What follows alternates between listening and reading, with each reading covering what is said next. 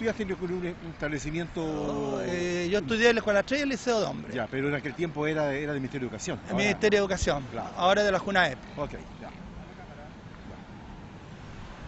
Miguel Buchoni Mesa, candidato a, concejal. En su pasado estudió en una escuela pública, lo que menciona con mucho orgullo.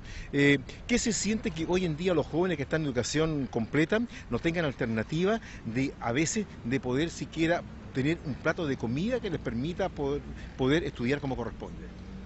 Bueno, yo creo que acá es una vergüenza, porque yo, si hay, hay personas que dicen que Iquique eh, eh, es la ciudad del futuro, es la ciudad Miami Chica, es la ciudad donde flu- fluye el dinero, es la ciudad donde tenemos una de las cuartas o quinta alcaldías con mayores recursos, ¿no es cierto?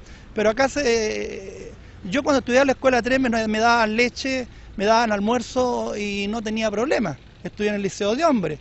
Entonces, ¿qué, qué pasa con la JUNAE hoy día? Porque si nadie le dice nada a la JUNAEP, la JUNAEP simplemente por un problema de administración, por un problema de dejación, por un problema de capacidad, por un problema de administración, me está dejando a los niños chicos sin almuerzo, eso es imperdonable. Pero ¿por qué la, municipalidad, por qué no crea un organismo de fiscalización a la JUNAEP, aunque sea adicional al gobierno, y que denunciemos estos hechos? Nadie lo quiere hacer, porque nadie le interesa la educación.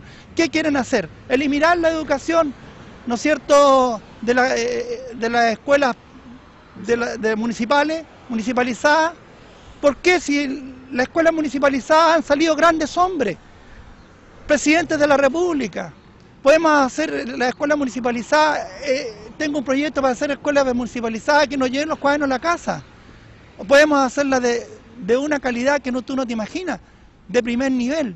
Pero si no tenemos los niños con almuerzo, no los tenemos con comida y la municipalidad no se ha preocupado durante tantos años y seguimos con el mismo tema, yo creo que acá hay que ponerle cascabel al gato y yo estoy dispuesto.